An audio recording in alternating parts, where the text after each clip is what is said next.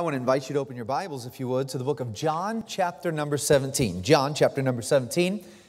It is truly an honor to get to be with you this evening. I'm very humbled at the fact that I get to share this time. I realize your time is very valuable, and I know there's many things that you could be doing. You set time aside to come to the house of God, and I am very thankful to stand here and to share the Word of God. I remember when I was in college that many times your pastor came through and he preached in the chapel services and many times even in the Bible conference. And I remember thinking, you know, I took notes like crazy. And in fact, I probably preached some of his sermons. I didn't even want to say that, but I, I preached some of his sermons, but I translated them to Spanish. So they became mine, preacher, to be honest, you know. But you know, I thought, what a blessing. And now I, I get the opportunity to be here. I'm very incapable, per se, um, to be here.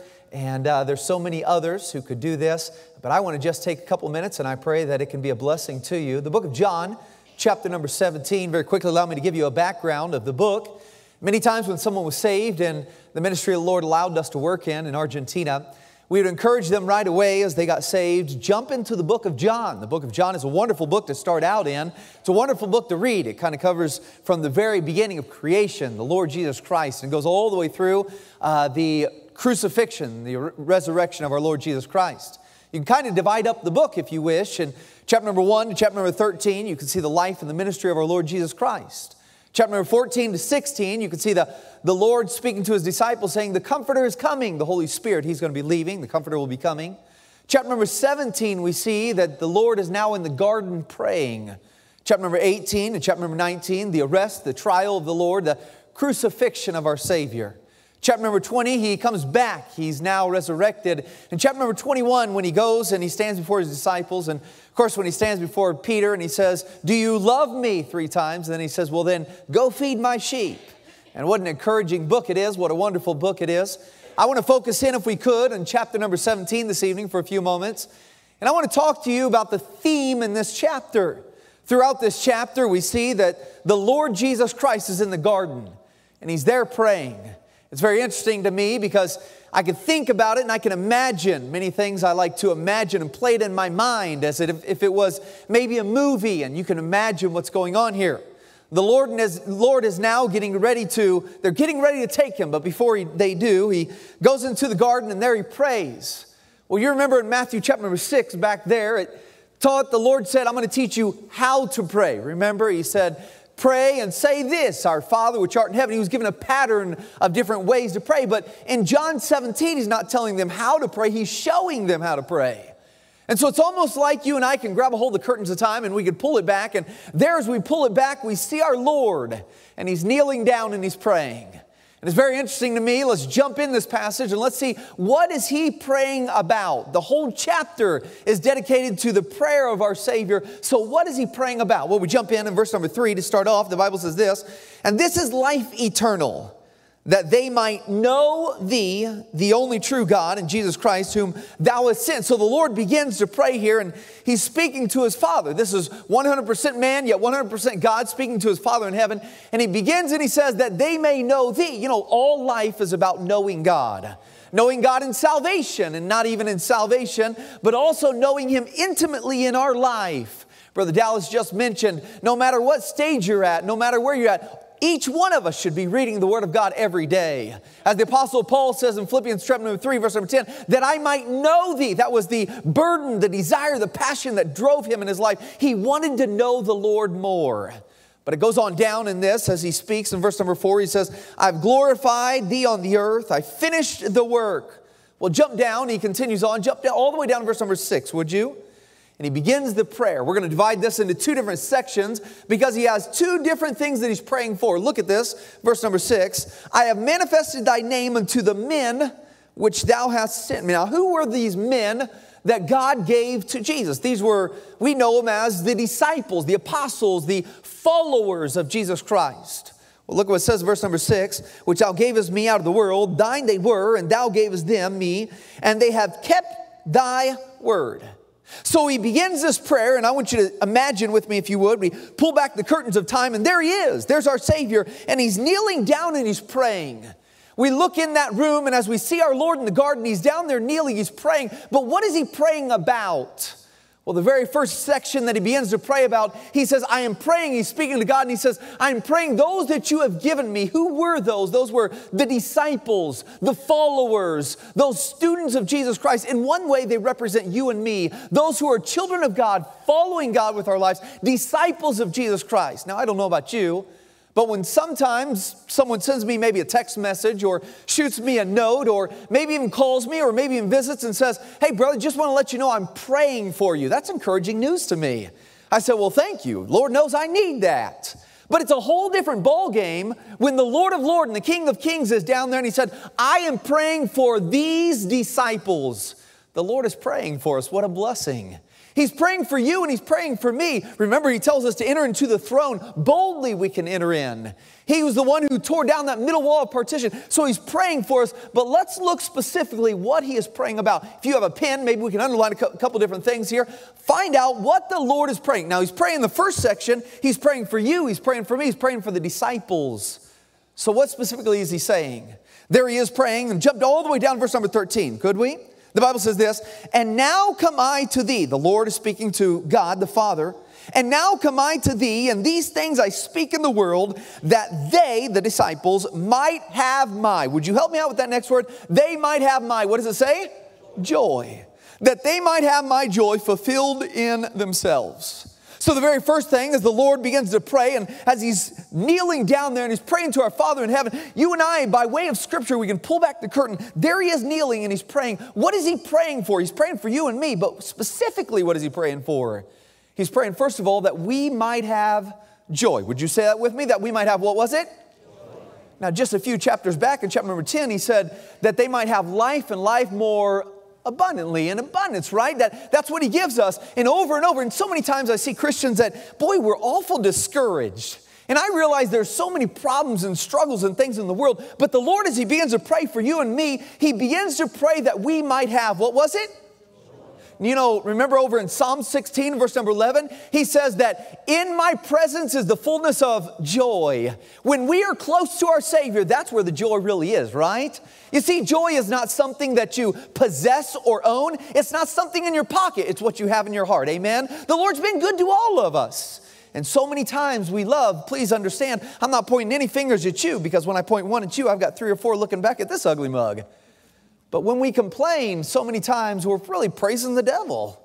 We're really saying, God, you haven't, done, you haven't taken care of me. Listen, dear friend, as our Savior begins to pray, He says, Lord, God, may they have joy amongst this world with so many trials and temptations and struggles and sicknesses and problems. He says, may they forget all that. As the Apostle Paul said, rejoice in the Lord always. And again, I say, what was it?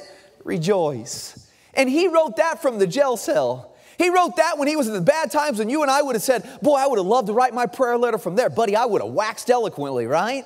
I mean, I would have told him, Oh, woe is me. It's horrible in here. And Paul said, No, buddy, let's be joyful in the Lord Jesus Christ. Amen? I mean, God's been good to us. And we need to remind us, ourselves how good God is to us. When was the last time you thanked God for how many things He's given you? When was the last time you thought about the blessings that God has given you? When was the last time you said, you know what? I'm not going to complain. I'm not going to use prayer as a big old long Santa Claus list and say, this is what I need and this and this and this. When was the last time you just stopped and said, Lord, I want to thank you for salvation you've given me, for the good family you've given me, for the church you've given me, for the word of God, for the, the health you've given me, for the house, whatever it may. When was the last time? See, the Lord begins to pray and he says, first of all, I'm praying that they might have, what was it? Joy. But jump down, let's go, let's skip up a little bit. Verse number 11, look what the Bible says here. And now I am no more in the world, but these, the disciples, are in the world, and I come to thee, Holy Father. Keep through thine own name those whom thou hast given me, that they may be, next word, would you say that with me? That they may be, what does it say? One, even as, or excuse me, as we are. So imagine this with me. Here's the Lord. He's praying, Oh Father, please, I'm praying for the disciples. Give them, may they have the joy. Listen, dear friends, the devil knows that you and I, when we get discouraged, we never witness to other people. When we get discouraged, we don't read our Bibles. When we get discouraged, we don't visit and help other people. We don't pray for people. When we get discouraged, we don't want anything to do. And the devil many times says, I got them taken care of. No problem here. They're all discouraged. And how many Christians get discouraged? So the Lord prays that we might have joy, but not only that we might have joy, He also prays that we might be one, the Bible says. What does that mean? Or remember, there's 12 of them and they're walking around, and many times as they would walk around, you remember some of the times they were back there fighting. There's 12 of them. They were in their groups, maybe of three or four, some say, and they were in those groups and they were fighting. Hey, who's going to be the greatest among us? Right? I mean, they were bickering back and forth. And you remember even one time, James and John, they were, you know, maybe a little bit wimpy. And they said, Hey, you know what, mom, go ask them. And so his mom goes over and says, uh, Could my, one of my sons sit on your right side and the other sit on your left? And the Lord says, You gotta be kidding me. Well, he doesn't say those words, but you don't understand what I'm saying. I mean, he says, No. And you know, I mean, over and over, they're always bickering about something. And listen, the Lord says, as he said back in John chapter number 10, verse number 30, I and my Father are one. And he looks and he says, May these disciples, may they be one as we are one. Now, let's be honest. With so many people, we're not ever going to agree on the color of the carpet or on the paint on the walls or on the food that we like or whatever it may be. But listen, as children of God, we can't agree on one thing. We have the gospel of Jesus Christ and we need to get it all around the world. Can we agree right there, dear brethren? Well, then let's, many times, listen, we need to learn to die to ourselves and put other things aside and say, God, I'll prefer one another, I'll honor one another, I'll serve one another, I'll love one another. Let's put those things aside and let's put God first. May we be one so we can get the gospel out and other people can hear. But not only does he pray that we might have joy, not only does he pray that we might be one, but follow down there in verse number 14. Would you look at it very quickly? The Bible says this I have given them, the Lord speaking here, I have given them, the disciples, thy, would you say that? What does it say? The next thing, what does it say? I've given them thy what? Word. And the world hath hated them because they are not of the world, even as I am not of the world. So, first of all, the Lord, there He is. He's praying for you and me, but what is He saying? He's praying for His disciples, but He's praying that we might have joy. He's praying that we might be one, and now He's praying, He said, I've given them Thy word. You know what, dear friends? In this dark and dirty world that we live in, so much sickness. Our dear brother was just saying all the secularism that there is out there, all the nasty things. How in the world can we know how to raise our children in this world? Right here, this book will help you, dear friends. How can we know how to have a good marriage when even amongst Christians, it just seems like, you know, one out of two are just falling and divorcing? How can we know how to continue on in life? Right here, this book will tell you, dear friend. You see, this book, it's a lamp unto my feet and a light unto my path. He's not left us here. He said, Here, I've given you the manual to help you out.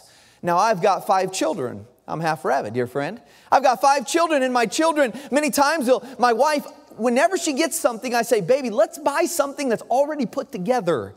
I've got no mechanical brain in my, it just doesn't work for me. My dad, he can take apart, and my mom would used to tell me, you know what, your dad, when he was 17 years old, he took car, uh, uh, uh, apart a car and he looked at it and he put it together just a couple times. I'm thinking, mom, are you trying to make me feel stupid? I mean, I, if the car doesn't work, I say, doesn't work, baby. And she says, what's the matter? I'm saying, I don't know. Let's take it somewhere. I have no idea. Every once in a while, my, my wife will buy something. She says, Here, they say it's easy to put together. And I said, Who told? The salesman said it's easy to put together. He knew we were suckers in buying that thing. Man, I can't put those things together. And I'll try, and you know, it ends up with the swing on the top or the leg out the side. I thought, This doesn't work. Take it back, you know. And then I end up with a whole big pile of screws. And I said, Send this back to factory. These are all extras. It never works out for me. But you know what? At the very end, many times I'll walk over and I say, Give me that instruction manual. And I'll pull it out and I'll open up and say, Oh, would have been so much easier. Now, how in the world, in this world in which we live, dear friends, how do we know what to do? And the Lord says, Don't you worry, dear friend. Here is the Word of God that's sharper than a two edged sword. Here's the meat for every day. Here's your bread for every day. Here's the milk of the Word. Here's everything that you need to stay away from the temptations and the sin. We have the Word of God, dear friends. So he's praying and he's saying, Give them joy, God. He's praying, may they be one and die to themselves and, and prefer one another. Not only, may they be one and get the gospel out there. But not only that, may they grab a hold and read, may they use, because I've left them thy word. But look down verse number 15 very quickly, that next verse. The Bible says this I pray not thou that thou shouldest take them out of the world, but thou shouldest keep them from the evil. For a long time, to be quite honest, this kind of confused me. I thought, I mean, wouldn't it be easier just to take me on out of here? I mean, no problems, no struggles, no difficulties, no bills to pay, and no people to argue with, and all. That. Wouldn't it just be easier, God, if you would have took me on out of here? And in the Lord, in chapter number 16, just uh, the chapter right before the very end verse, the Lord said, In this world you shall have tribulation. I thought, well, praise the Lord, what wonderful news we got. he said, Hey, in this world you'll have tribulation. Hey, but then he says, Stop, rejoice, be joyful. I am with you. You have nothing to worry about. I am right by your side. So listen, here's what he says God, don't take them out of here. There'll be no light here, but God, keep them away from the evil. We have his presence, dear friend. We have the help that we need. We have all that we. God has not just thrown us out there and said, Fend for yourself, boys. He said, I've given them thy word, and now I'm keeping them. I am helping them. I'm watching over them. I'm protecting them. Listen, dear friends, we have so many blessings as a child of God. We know where we're going when we die. We have the presence of God every day. We have blessings all the time. God has been good to us. And so we see here the Lord. There he is kneeling down and he's praying. And buddy, it excites me. I look at it and I say, wow, he's praying for me. I mean, goodness, how in the world? For me, he's praying.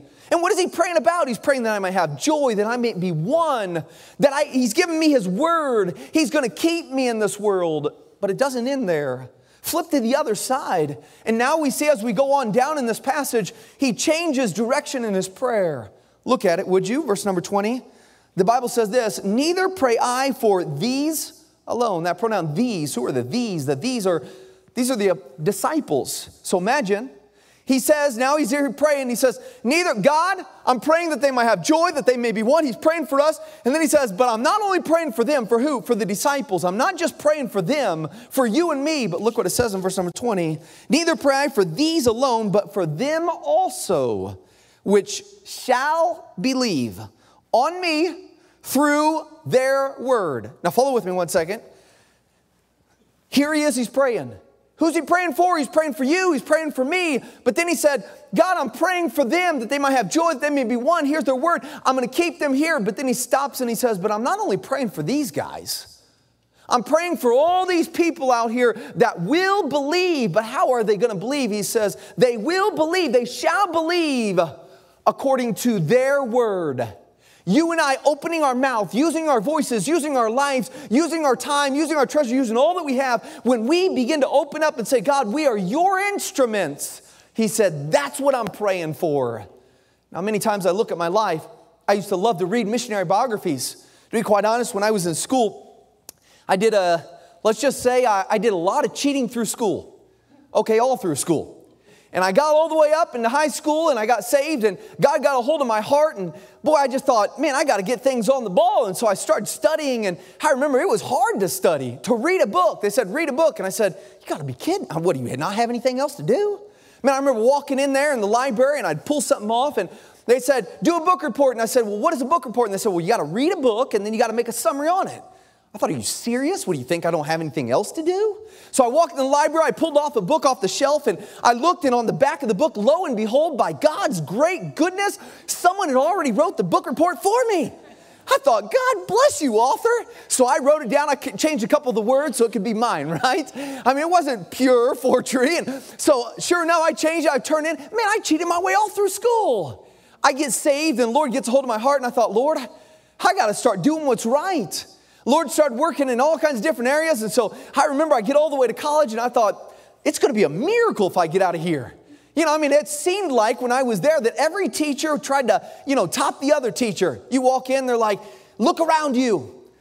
There's only going to be maybe half of you at the end of the year. And I'm like, oh, you serious? I'm like, way to go. You know, I'm thinking, I'm not going to be making this. They said, in my class, you're going to study this many hours. We're going to have a quiz every Monday and Wednesday and Friday. You're going to study two hours. You're going to read it three times and underline it and make the, and I thought, you got to be kidding me. I go to the next class. He said, my class, other classes might be easy, but my class isn't. I thought, are you guys in cahoots here? I mean, what's going on? I thought, I'm not going to get out here. Well, finally, by God's great miracle, I get out.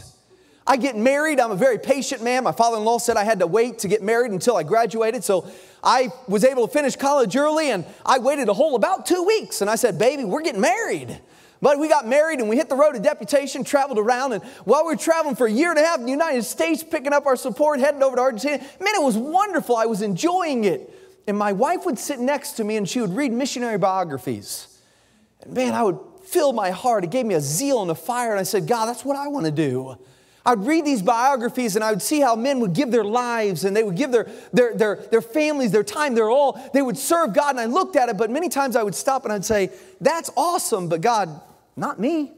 I mean, I don't come from good pedigree per se. I don't have money and I don't have the knowledge and the talents. And God, that's not me. And so the Lord says, I'm praying for these, the missionary, uh, I'm praying for the disciples, but I'm also praying for all those that will believe, but they will believe according to your word. And I said, God thinks, but how are you going to use me? I'm a nobody. Well, look what the Bible says because God says He equips us and gives us exactly what we need to get the job done. Would you look at it? Jump on down to verse number 22, and the Bible says, And the glory which thou gavest me, I have given them, the disciples that they may be one, even as we are one. So, how are we supposed to? Lord's praying for the disciples, and He says, Look, guys, don't you be, you know, egotistical thinking it's all about you. I also want to pray for all those that will believe one day, but they're going to believe because of you guys. I say, Lord, how? How in the world? And the Lord says, Don't you worry, I've given you my glory that God has given me. Now, God doesn't share His glory, so what does that mean? You can go to chapter number one and chapter number two, verse number 11, where he says he's given us that glory. But what does that mean? Well, I believe it comes from Acts chapter number one, verse number eight, where he says, Hey, y'all are going to be my witnesses. Jerusalem, Judea, Samaria, the uttermost parts of the earth. God gives us his authority. God gives us the boldness. God gives us the strength. God gives us exactly what we need. As Philippians 2.13 says, it's him that worketh both in us to the will and the do of his good pleasure.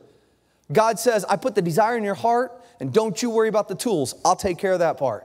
If God puts something in your heart to say, Well, God, I think maybe I can go to the mission field, don't you worry about the details. God's going to take care of those things. You say, Well, preacher's talking about giving, and Lord, I, I know there's something in my heart to give the faith promise, but I don't know if I can do that. God's going to take care of it. Well, I don't know. God might want to take my kids to the mission field. Don't you worry about God can protect them way better than you ever could. But I don't know about that. Listen, whatever your doubt is, God says, I've given you exactly what you need to get over there and do the work of God. We have the authority that God has given us. We have the blessings that God has given us. We arrived into Argentina, and for many years, for a year and a half, we traveled through the states and raising our sport. And our prayer always was, Lord, please prepare the heart of the Argentines over and over and over. It was our constant prayer between my wife and I. We finally leave the United States. We learn the language. We arrived to Argentina, and I began to pray, and I said, God, I've been praying for a long time that you would prepare the heart of the Argentines, Lord. Now, God, I'm asking that you would send all those people whose hearts you've already prepared. And you might think this is silly or too simple. Maybe it's way simple. But you know what? Little by little, God began to send people. God sent him there, and I thought, man, I don't even know if I can speak this well. I don't even know if I'm doing what's well, what's right. Man, I cleaned up this old paint building. We started, people started to come, and man, they would get rid of things, and they would say, I'm going to quit with the alcohol. I'm going to serve the Lord of heaven. And they quit beating their wives. They quit doing these things. Boy, God, I said, God, I want to be on a radio. And a man walks in, and he said, Would you like my radio station? And I said, Are you kidding me? And I mean, over and over, I can tell you all kinds of miracles that happened over and over. And God began to send men that would study in the Bible college and go out and start churches and serve the Lord. And I thought, God, I'm nothing. And the Lord said, Don't you worry about it. I'm the one who wants them saved. I'm praying for them. I'll give you the glory. Now get out there and do the job that I told you to do. And when God speaks to us, dear friends, do not look and use our logic and say, Well, Lord, you know things are pretty tight.